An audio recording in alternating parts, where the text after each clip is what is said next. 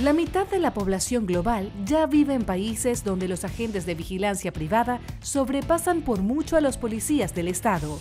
En esta edición de Efecto Naim, exploramos qué pasa cuando la seguridad se convierte en un producto de consumo.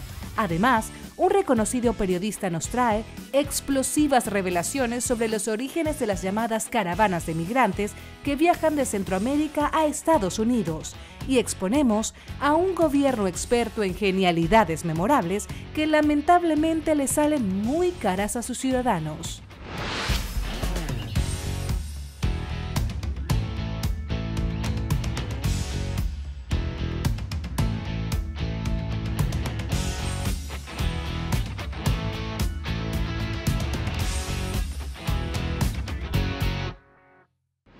Bienvenidos, soy Moisés Naín desde Washington. Encantado de estar de nuevo con ustedes, como siempre. Piensen en este dato, en este número. Según un periódico británico muy reputado, The Guardian, hoy en día al menos la mitad de la población del mundo vive en países en los que hay menos policías empleados por el gobierno que agentes que trabajan para empresas privadas de seguridad. Ustedes seguramente los ha visto, todos los hemos visto, están en centros comerciales, ven documentos de identidad en las entradas a las discotecas o escoltan celebridades o están cuidando instalaciones industriales, etc. Este creciente grupo de trabajadores forma parte de una industria mundial que incluye desde empresas que proveen sistemas de seguridad electrónica hasta ejércitos de mercenarios. Se estima que para el año 2020, el 2020, este, esta industria podría llegar a valorarse en 240 mil millones de dólares. Solo para darles una proporción, eso es más que todas las economías de América Central combinadas. ¿Qué explica la expansión de esta industria? Están reemplazando al Estado en su rol de básico de proteger a los ciudadanos. ¿Cuáles son las consecuencias para los países y hasta para la política internacional de esta proliferación de empresas privadas de seguridad? En este reportaje nos adentramos en el sorprendente mundo de la seguridad privada. Mire. En temperaturas bajo cero, a las afueras de Pekín, se entrena a la nueva generación de la seguridad privada. Marco Borges, un ex soldado de las Fuerzas Especiales Portuguesas, es uno de los instructores de la Academia Internacional de Seguridad Genghis. Hay muchas personas ricas en China que tienen negocios en Europa, en África, en todas partes. Por lo tanto, necesitan preparar a los guardaespaldas chinos con habilidades y herramientas para trabajar en todas partes. Estos estudiantes son parte de los más de 5 millones de chinos que cuidan de inversiones dentro y fuera del país, como la nueva ruta de la seda una estrategia del gobierno chino que busca invertir un billón de dólares en la construcción de infraestructura en más de 60 países de Europa, Asia y África. Pero el auge de los servicios de protección privada no es exclusivo al gigante asiático. Actualmente esta industria emplea 20 millones de personas en todo el mundo, desde expertos en tecnología que protegen cuentas bancarias hasta investigadores privados que prometen cazar infieles. Es un sector que viene aumentando a una tasa de 6% anual, mucho más que la economía global, y no muestra signos de detenerse. En parte, este boom responde a un deseo universal de sentirse protegido, pero la creciente desigualdad también alimenta este negocio. A medida que unos se hacen más ricos que otros, el deseo de proteger sus bienes se hace más pronunciado, sobre todo en países donde la inseguridad se ha propagado y el Estado no es capaz de enfrentarla. Este es el caso de Venezuela, donde Rafael Caldazo supervisa una empresa de seguridad. Puede ser un alto ejecutivo como puede ser un, una persona común y corriente que, mantiene un negocio pequeño. Eso no, no, se discrimina pues, en, el caso de, de, blindar un carro. La gente necesita y quiere efectivamente protegerse. Sin embargo, cuando la protección se convierte en un bien que se puede comprar, el acceso no es igual para todos. Quienes tienen más recursos pueden invertir en ella, mientras que para los más pobres es un lujo muy necesario pero inalcanzable. Por otro lado, sin la debida regulación, este sector puede representar una amenaza para la estabilidad nacional. Así lo explica el experto en seguridad Eric Olson. Lo que pasa en, por ejemplo, países como Guatemala, donde el número de, de, empresas de seguridad y el número de efectivos es tres, cuatro, cinco veces el número de policías del Estado, es que hay un descontrol eventual. Y si ellos bien pueden proteger a una empresa, eh, que sería algo quizás legítimo, también pueden eh, eh, cuidar o proteger a un traficante de drogas o un corrupto. Olson además advierte que incluso cuando las empresas de seguridad son contratadas por los gobiernos, como es el caso de los ejércitos a sueldo, pueden haber problemas que trascienden fronteras. Yo creo que es peligroso porque el tema de eh, guerra está regido por eh, convenciones internacionales, como la Convención de Ginebra. No está claro que estas empresas se tienen que regir por esto mismo, porque no son eh, estados. En la llamada masacre de la Plaza Nisur en Irak, por ejemplo, murieron 17 civiles inocentes a manos de agentes de la empresa de seguridad estadounidense Blackwater. Colombia no ha sido inmune a estos problemas. En la última década del siglo XX, grupos de seguridad privada degeneraron en agrupaciones paramilitares responsables de asesinatos masivos, secuestros y narcotráfico que afectaron a los países vecinos. Reconociendo este desafío, el gobierno colombiano creó hace más de 25 años la Superintendencia de Vigilancia y Seguridad Privada, con el fin de regular estas empresas de seguridad y eliminar aquellas infiltradas por grupos ilegales. Esa problemática se dio en la década de los 90 y a principios del 2000, que grupos al margen de la ley pudieron incorporarse y disfrazarse dentro de la tipología de alguna clase de empresas, departamentos de seguridad. Se dio, pero hubo el control correspondiente y durante la década del 2000 se revocaron 497 licencias. Es un número importante, considerando que en la actualidad las empresas de vigilancia privada no superan las 700. Sin embargo, en América Latina solo tres países cuentan con entidades como esta, Colombia, Perú y República Dominicana. Aún más preocupante es que actualmente no existe ningún marco regulatorio internacional para estas empresas de seguridad. En 2010, un proyecto que buscaba avanzar en este sentido fue rechazado en el Consejo de Derechos Humanos de las Naciones Unidas.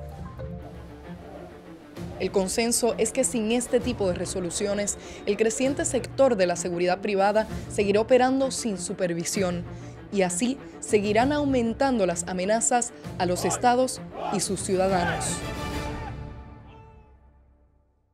No basta con decirlo una sola vez. En un mundo en que la seguridad está cada vez más privatizada, es esencial que haya leyes que le den más prioridad y más protección al ciudadano. De otra manera, una industria basada en la protección podría terminar poniendo vidas en peligro. Y al regresar de la pausa, cambiamos de tema. Tengo en el estudio un intrépido, respetado periodista eh, que nos va a hablar de las llamadas caravanas de inmigrantes centroamericanos y su sorprendente conexión con el gobierno de Nicolás Maduro. No se vaya.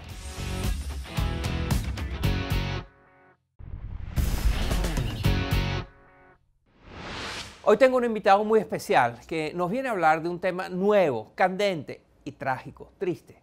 Su nombre es Douglas Farah y es un reconocido periodista estadounidense que lleva años cubriendo los principales eventos que han marcado América Latina y África Occidental. Por más de dos décadas, Farah fue uno de los corresponsales más importantes del diario Washington Post. Farah estuvo reportando en la Guerra Civil de El Salvador y también documentó la aparición y el auge de los carteles de la droga en México. Pero no se quedó allí. Pasó al continente africano, donde desde allí reportó sobre los más brutales conflictos en esa región. Y también expuso por primera vez los lazos del grupo terrorista Al Qaeda con el tráfico ilegal de diamantes y armas.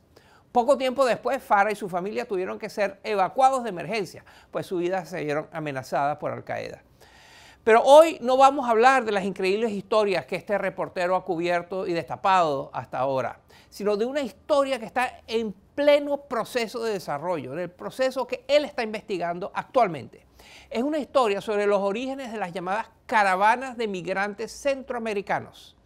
Quizás usted ya ha oído este término, caravana de migrantes se refiere a grupos muy numerosos de personas que desde octubre del 2018 han salido de países eh, de Honduras, de El Salvador, de Guatemala, buscando un futuro mejor en el norte o más aún simplemente buscando cómo sobrevivir. Estas caravanas, por supuesto, esconden historias trágicas, pero también esconden explosivas revelaciones. Y es precisamente de eso de lo que hoy le preguntaré a Douglas Farah. Mire. ¿Qué es una caravana?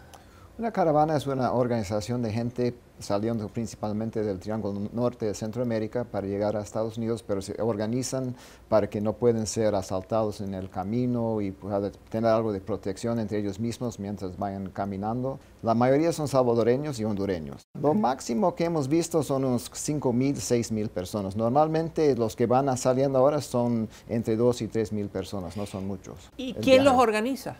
Algunos son, comienzan espontáneamente por la gente comenzó, como comenzó la primera caravana del año pasado y ahí se van organizando diferentes grupos, ONGs, grupos políticos con diferentes fines para organizar la gente y ayudarlos a llegar. La gran mayoría tienen razones muy fuertes para querer salir de sus países de origen. La violencia es tanto, el desempleo es tanto, la vida está tan fuerte en los principalmente en los barrios marginales de la clase media, media baja, pobre, que la gente no cree que tienen futuro en su propio país. Danos algunos ejemplos de este infierno. Mire, en El Salvador o en San Pedro Sula llegan las maras, principalmente la Mara Salvatrucha MS-13, para controlar un territorio. Y ahí te dicen, bueno, si no me das tu hija, te vamos a matar a ti y a ella. Si llevan la hija es para violarla e incorporarla a la Mara. Y es tan grande el control de las maras ahora que la gente no tiene ni dónde salir. Si quisieran salir de su propio barrio, no tienen a dónde ir porque ya las maras están en todo el territorio. ¿Y cuál es el rol de los gobiernos? ¿Qué está haciendo el gobierno de Honduras, el gobierno de Guatemala, el gobierno de El Salvador para proteger a sus ciudadanos de este, de este infierno? Han sido totalmente incapaces, los niveles de corrupción son tan altos la policía tan penetradas ahora por las mismas maras y por la corrupción que realmente no hay presencia de gobierno en estos países. Y al mismo tiempo ah, se han convertido en un gran tema de política en Estados Unidos, ¿no? Pero la realidad es que las caravanas representan menos de 5% de la migración constante que hay, ¿no? O sea, han agarrado mucha fama, mucha noticia porque se organizan, les han hecho mucha propaganda por razones políticas para que lleguen, pero al final son una parte muy reducida del gran flujo de gente que va saliendo todos los días hacia Estados Unidos. Como tú sabes, el presidente Trump ha denunciado a estas caravanas como una invasión de los Estados Unidos y ha dicho que tienen el financiamiento de todo tipo de, fuentes eh, muy exóticas. ¿Pero quién financia las caravanas? En este momento tenemos documentación de que parte, por lo menos, del financiamiento viene de Venezuela con un propósito de crear caos en la frontera de Estados Unidos. Venezuela está sufriendo una crisis grave de migración y quieren dar la apariencia, la contranarrativa, que Estados Unidos también tiene la misma, el mismo problema que ellos. Entonces, no son grandes cantidades de dinero, pero suficientes para organizar ciertos grupos para que vayan saliendo. Déjame mostrarte estos videos y oír tu comentario. Mira. Esta caravana fue organizada por grupos de izquierda en Honduras y financiada en parte por Venezuela. El hombre dijo, llegó a decir que esa caravana está siendo financiada por Venezuela, por el presidente Nicolás Maduro, y que pretenden poner a prueba la seguridad y la defensa de Estados Unidos, no sé para qué. ¿Cómo debemos interpretar esto? ¿Qué debemos pensar sobre lo que acabamos de ver? Bueno, lo que el vicepresidente Pence dice es cierto de una, una magnitud menor probablemente de lo que ellos piensan, pero suficiente para armar un una desorden muy grande en las caravanas. Y han llegado oficiales de muy alto nivel de Venezuela en vuelos particulares de PDVSA a El Salvador con cajas de cartón lleno de dinero para repartir entre El Salvador y Honduras para financiar lo que ellos ven como una herramienta asimétrica para llevar la gente a Estados Unidos y, y, crear un caos. El problema es que les dice a la gente una cantidad de mentiras para que la gente se anime y la gran mayoría de la gente desesperada quiere agarrarse ¿Cuáles de las son mentiras. las mentiras que le dicen para convencerlos? Que si llevan los niños no les va a pasar nada, que van a entrar directamente a Estados Unidos, que va a haber comida, que va a haber ah, agua, que van a tener albergue donde dormir, etcétera. Todo que son mentiras y que al final les garantizan que van a entrar al país, a Estados Unidos, y, y eso no es cierto. Ha sido muy mencionado el nombre de un individuo eh, como parte importante de todo esto, Bartolo Fuentes. ¿Quién es este señor? Bartolo Fuentes es un sindicalista y periodista que está muy vinculado a las estructuras de Venezuela en Honduras, que él es que el que lleva el dinero y organiza las caravanas, él maneja las redes, él escoge la gente que va a guiar las caravanas y ha sido pieza fundamental en este proceso. El gobierno de Venezuela dice que todo esto es mentira y que no hay evidencias, que no tienes pruebas de eso. ¿Cuáles son las pruebas de esto? Lo que tenemos son los documentos de los vuelos de gente de inteligencia de Venezuela que ha llegado varias veces en vuelos privados de PDVSA, que tenemos hora, fecha, cómo han llegado, cuánto han quedado en tierra, cuánto han descargado y cuándo han regresado y a quiénes han entregado el dinero. Entonces yo creo que, creo que podemos decir que una parte importante para financiar la logística de organizar las caravanas viene de Venezuela. Mirando hacia adelante, ¿estas caravanas seguirán ocurriendo, seguirán siendo una nueva realidad de Centroamérica? Mire, hemos visto las comunicaciones internas de algunas de las redes que manejan las caravanas y ellos mismos reconocen que hay mucha gente ya muy cansada que quiere irse de las caravanas, que no han rendido, que ya no quieren llevar sus niños. Entonces yo creo que esto va a llegar a un fin caótico donde van a comenzar como han hecho hace poco organizando nuevas caravanas, pero mucho más chiquitos porque ya la gente se da cuenta de la realidad y están más dispuestos a ir por otros caminos que en una caravana. Solo cabe la esperanza de que haya cambio político decente, sincero, eficaz en estos países de Centroamérica donde se está viviendo una pesadilla, una tragedia. Douglas Fara es uno de los periodistas más reconocidos eh, en este ámbito, es un experto en los temas de seguridad eh, de Centroamérica y de otras partes. Em, gracias. Gracias, Moisés, un placer.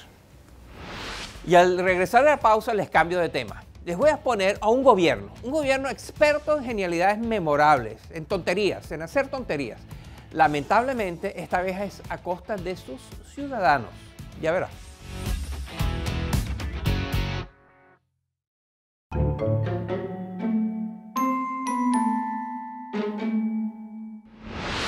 El 22 de diciembre del año 2018, el gobierno de los Estados Unidos cerró, dejó de funcionar.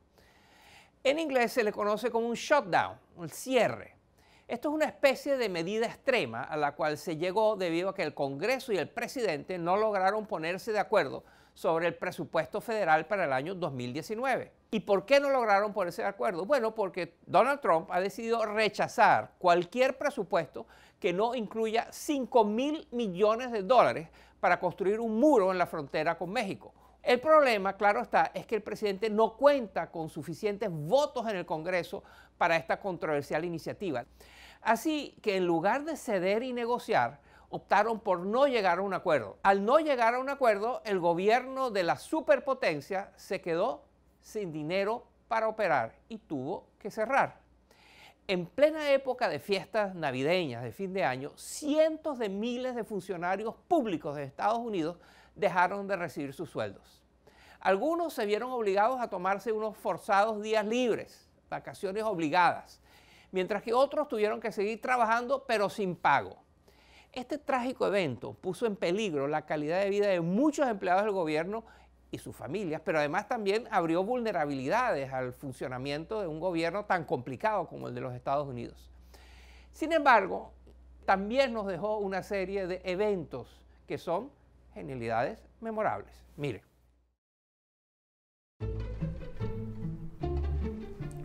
Comenzó el 2019 y el gobierno de Estados Unidos seguía sin operar desde el año anterior.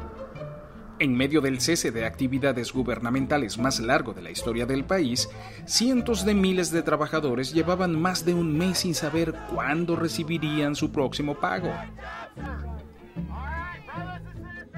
Pero en lugar de ofrecerles la debida remuneración, el gobierno optó por ofrecer geniales y memorables consejos. A través de documentos oficiales, agencias del gobierno sugirieron a los trabajadores afectados convertirse en niñeras u organizar una venta de artículos que ya no necesitaban para poder seguir pagando sus cuentas o el alquiler de sus hogares. Los parques nacionales también se vieron afectados. Sin empleados trabajando, los paisajes más hermosos del país terminaron desbordados con desechos y excremento. Pues no había nadie limpiando ni los basureros ni los baños. Esta desagradable situación atrajo más consejos absurdos. Ryan Sinky quien antes de abandonar su puesto a finales de 2018 era el encargado de supervisar los parques nacionales, hizo un llamado a los turistas para que fuesen ellos mismos quienes recogieran la basura. Algunos parecen haberlo escuchado y llevaron los desechos directo a la Casa Blanca, que por cierto tampoco se salvó de las consecuencias del cierre. Por ejemplo, cuando el presidente invitó a un equipo universitario de fútbol americano a cenar en la Casa Blanca, la cocina no contaba con empleados suficientes para preparar la comida. Así que Donald Trump tuvo la brillante idea de gastar miles de dólares en comida rápida para alimentar a sus invitados. Esperemos que al menos alguien haya estado limpiando los baños de la Casa Blanca. Hasta aquí la genialidad memorable de la semana. Si conoce algún otro genio digno de ser expuesto aquí en Efecto Naim, cuéntenos. Use la cuenta de Twitter del programa, arroba Efecto Naim, o mi cuenta personal, arroba Moisés Naim. Hasta aquí el programa de hoy. Espero que les haya interesado, espero que se hayan divertido y que nos veamos la semana que viene. Gracias por estar con nosotros.